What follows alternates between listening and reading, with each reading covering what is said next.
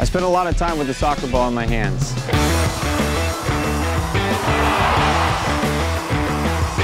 But I grew up with the soccer ball at my feet, and that gave me the chance to play on the field and develop my skills in goal. I'm a soccer player first and a goalkeeper second.